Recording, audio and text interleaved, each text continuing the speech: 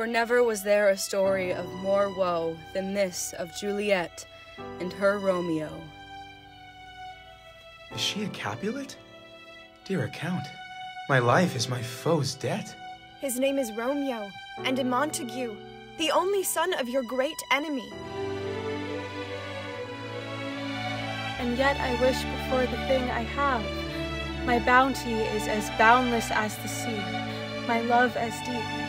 The more I give to thee, the more I have, for both are infinite. When Romeo is found, that hour is his last.